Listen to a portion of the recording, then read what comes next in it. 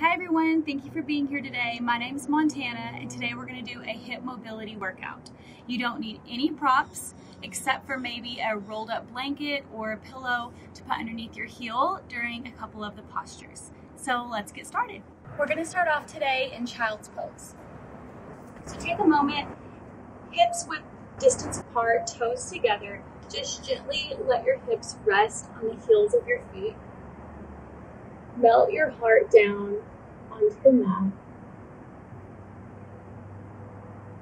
Let's pause here and take a few deep breaths.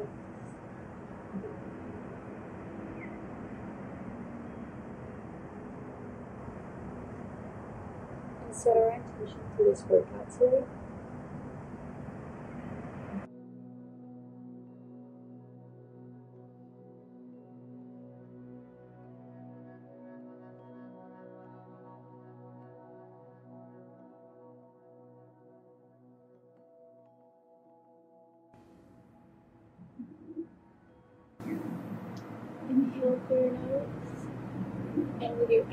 Come up on your hands and knees. Gently curl your toes under and come to a downward dog position. Gently begin to just walk your dog out, back and forth. Take whatever's comfortable in your body.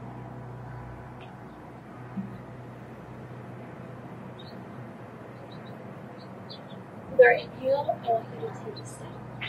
Put both feet on the outside of your hands and gently squat all the way down into a Buddha squat position. Hands at heart center. Gently press the knees away with your elbows. Nice long back, nice elongated neck. With an inhale, rise all the way up. Exhale, squat all the way down, plant your hands, and step both feet back. We're going to be here for 10. Rise all the way up, squat down, hands down, and step back. This is kind of a modified burpee. If you guys know what a burpee is, I'm just going to warm up the hips.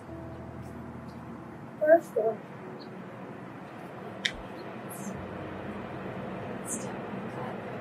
Five. If you want to make it a little more intense, you can always jump up on either side of your or you can keep it exactly as it is.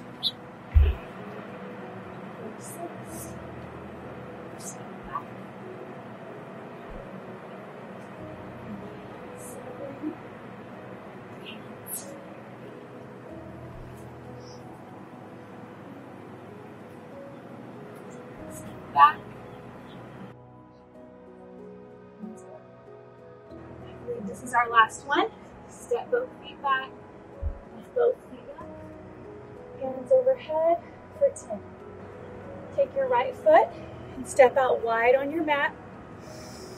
Take a deep inhale here and gently come to goddess squat. You want to make sure your knees are over your heels, your thighs are parallel, and your hands are at heart center. We're just going to rise up, both arms up, and come down for one, two, three, four, five. Really feel those hips open up. Six, seven, eight. Just a couple more. And 10. Come back down, put both hands on your knees, gently press your knees away and twist to the left. Take a nice inhale through center and twist to the right. You can gently rock back and forth right here, whatever feels good in your body. When you're ready, we're gonna bring our hands back to heart center and we're gonna do a couple little pulses. For 10, 9, 8, 7, 6, 5, 4, 3, 2, 1. Lift your right heel. 10, 9, 8, 7, 6, 5, 4, three, two, one. Right heel down, left heel up, four, nine, eight, seven, six, five, four, three, two, one. Really find your edge heel, both heels up. Find your edge here, four, ten, nine, eight, seven, six, five, four, three, two, one. Both heels come down, arms up overhead, hinging at the waist. Fall forward into a forward fold position. Deep inhale. Exhale. Inhale, halfway lift. Exhale, forward fold. Your next inhale, I want you to gently squat into the right side. This is called Skandasana or Ninja Pose. So if your ankle doesn't have enough flexibility in it, that's okay. This is where you're gonna use the rolled up blanket. And just gently begin to point your toe forward and back, rotating the hip in your socket. One, two, three, four, five. Let's walk it over to the other side. Oh, that feels so nice. And rotate for one, two, three, four, five. Now we're gonna go back and forth on Skandasana. So one, that's one, two. If you wanna make this a little more difficult, you can take your hands to heart center. Um, if that's too much for you, that's no problem. Just keep your hands on the mat. I think we're on five, six, seven, eight, nine, ten. So we're gonna end on the left-hand side. Gently turn, rotate your hips to the back, put your left knee down, uncurl your toes, interlace your fingers and place them over your right knee, and then gently push the knee away. We're gonna come to low lunge position. You wanna have your shoulders back, spine long, neck long. You should be feeling this in your left hip flexor. Take a deep breath here. You guys are doing great.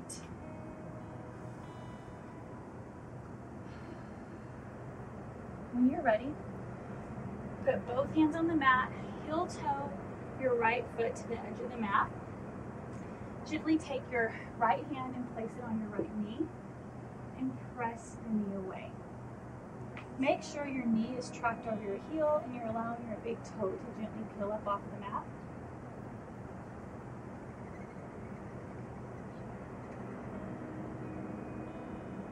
This is comfortable for you. You can bring both forearms down to the mat. Curl the left toes under and gently rock back and forth. This is called lizard pose. And it's a great pose. Rock for five, four, three, two, one. Gently place your knee back on the mat. Come up on your hands. And if this is available to you, perhaps you can your left knee in and grab it with your right hand. If this is not available for you, you can stay right where you are and you can gently just press the right knee out again. Gonna be your four, five, four, three, two, and one. Gently release the foot. Come back up and we're gonna just walk it out to the other side. Come back into your low lunge position. Interlace your fingers, press them on your left knee, and gently just press the knee away. Nice long neck. Nice long back, shoulders back. And gently just breathe into that right hip flexor. For five, four, three, two, and one. Bring both hands down to the mat. Heel toe your left foot out. Curl your right toes under and gently rock back and forth for your lizard lunge position. For five, four, three, two, one. Put your knee back down. Gently come down onto your forearms. Take your left hand on your left knee and gently press the left knee away. Making sure to protect the left knee, making sure the knee's trapped over the heel, and you're allowing your up the mat.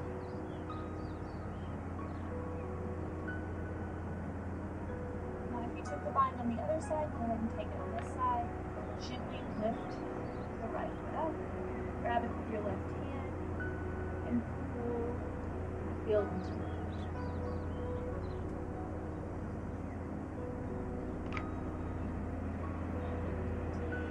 right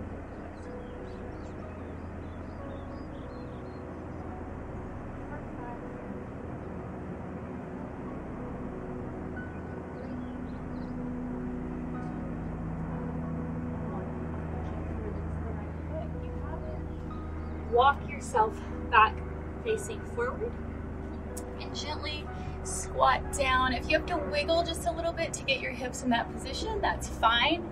And meet me in Buddha squat. So you want to have both heels on the mat.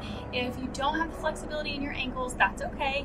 Just get a blanket, uh, rolled up blanket, pillow, or whatever you need to put underneath your heels. And meet me back here. We're gonna put hands at heart center, gently pressing the knees away, shoulders back, back straight, long neck. I want you to be aware of your elbows pushing your knees out. If you move your elbows, do your knees collapse or can you hold them out? So our goal is to be able to hold the knees out and we're gonna pulse. Remove the elbows and pulse for 10, 9, 8, 7, 6, 5, 4, 3, 2, 1. Relax. We're gonna gently lift halfway up for one, two, three, four, nice and slow, controlled, five, halfway there, six, seven, eight, don't forget to breathe, nine, and 10. Woo. All right, meet me back in Buddha squat. We still have one more pose here. For this posture, we are going to do knee dips. This is a really great hip mobility exercise, but it is a little challenging. So just do the best you can. We're gonna gently dip the knee and then dip the other one. That's one. And two. three, four, five. We're halfway there. Stay with me. You guys are doing great. Keep it up. Seven, eight, nine, woo, ten. Oh, we're gonna come all the way down on our bottom and come into a wide leg position.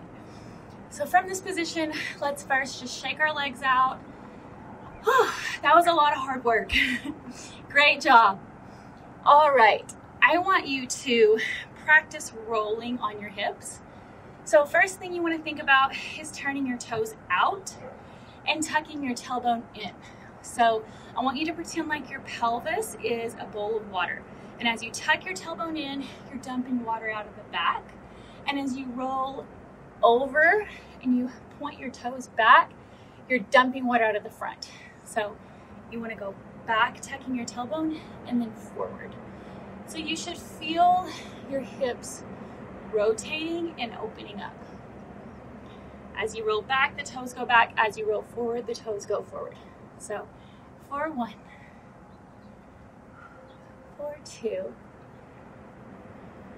for three, four, five.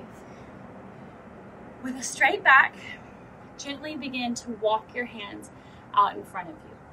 The most important thing here is to keep your back straight and just gently walk your hands out. Make sure you're not doming your back or crunching your neck. Okay, you don't want that. Gently walk yourself out to a place that's comfortable for you. We're gonna be here for a minute. So just take this moment to relax. Bring your awareness back inside.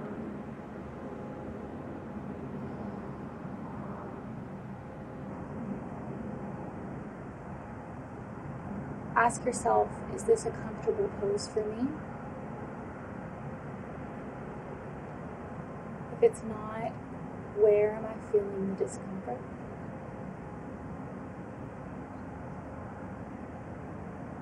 If it is a comfortable pose for you, it's great. Where does it feel the best?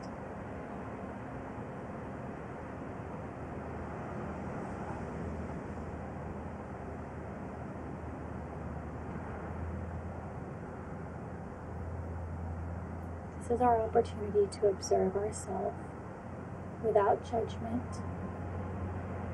just becoming aware.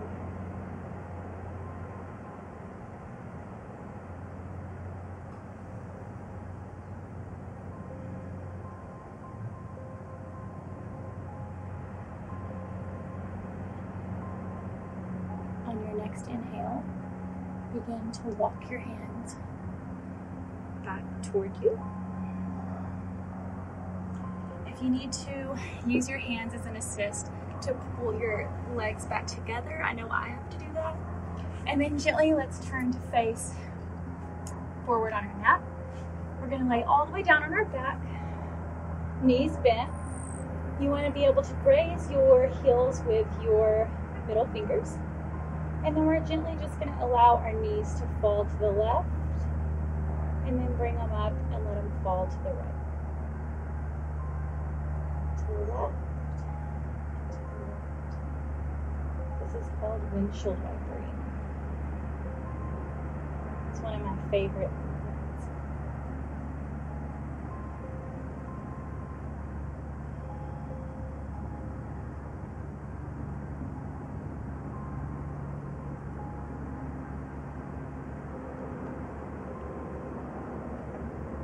ready, meet me back at center.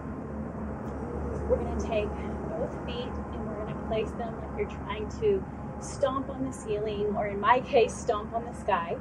You want to have your feet flat, take both hands and grab around the outside outer edge of your feet. Take your knees on the outer edge of your rib cage and then gently begin to pull. This is supposed to be a feel good posture, so don't force anything. Try to keep your tailbone sealed to the mat, neck long, shoulders relaxed. This is called a happy baby. Gently rock back and forth like a happy baby would.